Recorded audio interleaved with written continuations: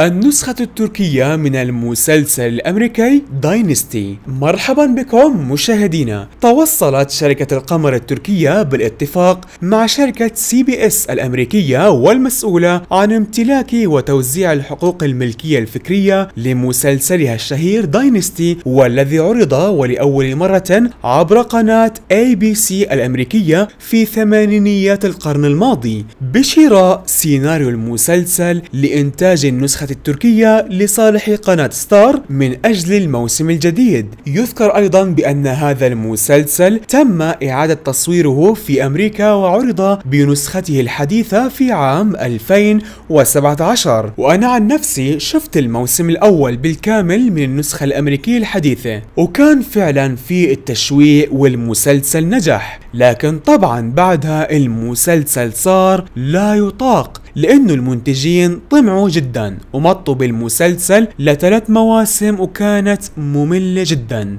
وعشان أحطكم بالصورة أجواء المسلسل هي متشابهة مع مسلسل التفاحة الممنوعة لكن باختلاف القصة وهي بتبدأ بالمنافسة بين زوجة الأب وبنته لمنصب مهم في الشركة.